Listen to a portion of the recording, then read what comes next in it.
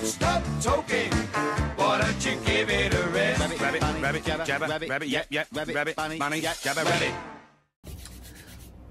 Hello and welcome to another Prop Dog review. Today we are discussing The Wooden Snapper by Merlins of Wakefield. a much overlooked trick. Well, we're calling it a trick. It's more of a joke, I think. It's more of a joke, but it's wonderful. You sell about one or two a month, I think. I think it's less than that, honestly. But we should be selling a lot more because they are so much fun.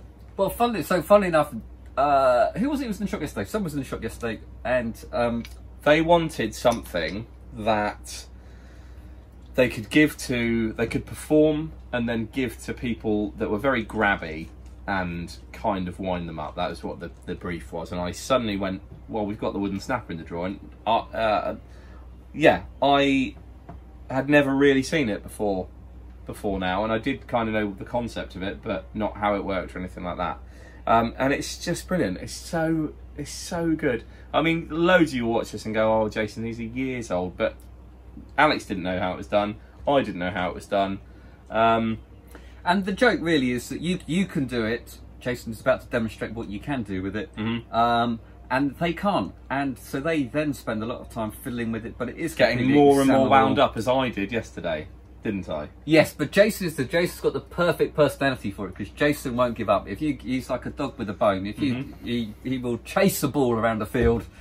20 Uh, minutes, I would say. 20 minutes it took me before I snatched out of Alex's hand after having a, a little epiphany that uh, that I worked out how it was done. So Jason, Um, show me what you do. So, So the you- premise is you have uh, you have an elastic. I'm going to show the camera. You have an elastic band going through the base, and you have a little dowel with a hook, and you have to try and hook the band in such a way that the um, the thing shoots back inside. I'll try and demonstrate it for you now. Wait, hold on. Oh, I can't do it, can I? Oh, I think we got it. There we go. So it shoots back inside. So one more. no. Hold on, sorry. I can't get it. There we go. So it shoots back inside. Now you can give that to your uh, your friend or not your friend if you want and to. they wind spend them a while going like this. it's just so much fun.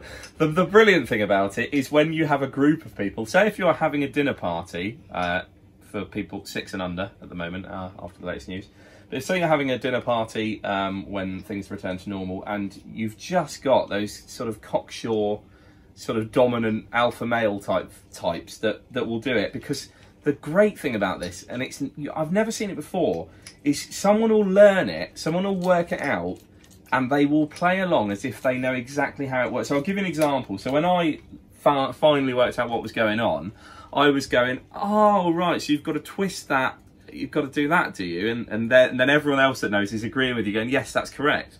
And that's it's absolute rubbish, but um, you just feel like part of the gang. It's a real.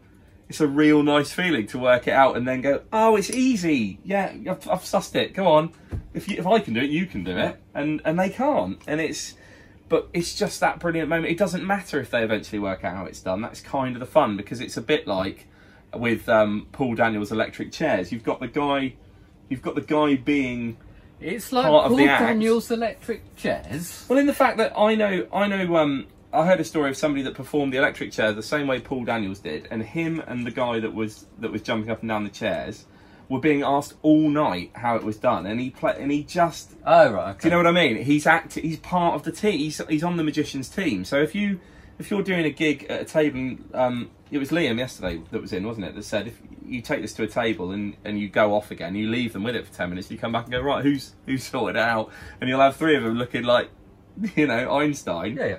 But it's brilliant. It's just really fun. It's twelve quid. Um, and It's it's twelve quid. It's a lot of fun.